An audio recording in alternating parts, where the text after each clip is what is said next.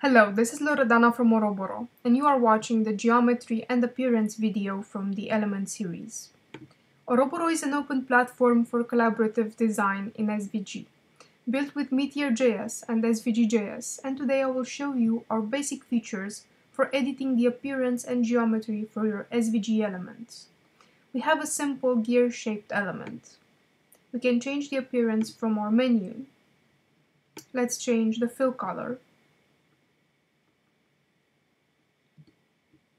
and fill opacity. Let's put another stroke color. But in order to see our color, we have to change the stroke's width.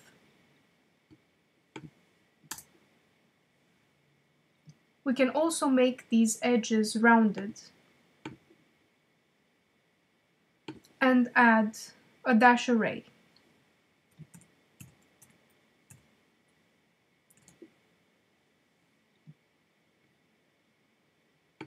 And change the stroke's opacity.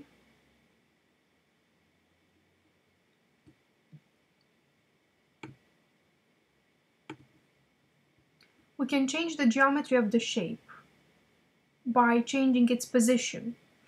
This X and Y control the top left corner. So these are the coordinates for the top left corner and these are the coordinates for the center of the figure.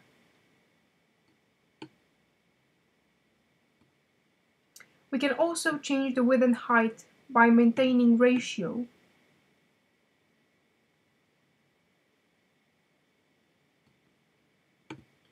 or separately.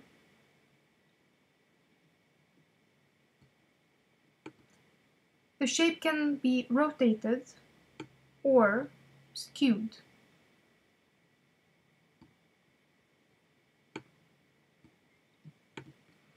There is a lot more that can be done with Oroboro, so be sure to follow our next videos. Thank you for watching.